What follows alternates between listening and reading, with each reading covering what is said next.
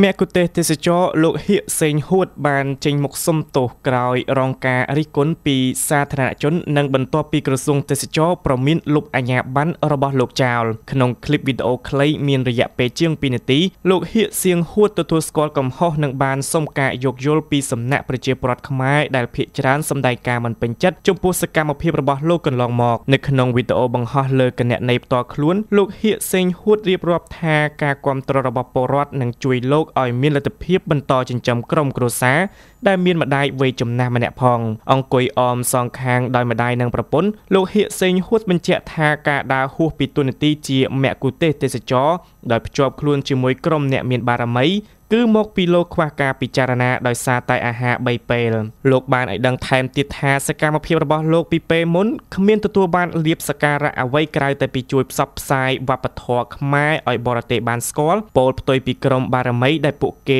សល់លុយរាប់លានឯណោះការចេញមុខសំទោសរបស់លោកហៀកសេងហួតធ្វើឡើងបន្ទាប់ពីក្រសួងទេសចរនៅថ្ងៃទី19ខែមករាចេញលិខិតប្រមានជាលើកចុងក្រោយចំពោះមគ្គុទេសទេសចរភាសាអង់គ្លេសរូបនេះជុំវិញករណីអនុវត្តមិនសមស្របតាមក្រមវិជ្ជាជីវៈនិងក្រមសីលធម៌វិជ្ជាជីវៈមគ្គុទេសក៍ទេសចរតាមលិខិតរបស់ក្រសួងទេសចរ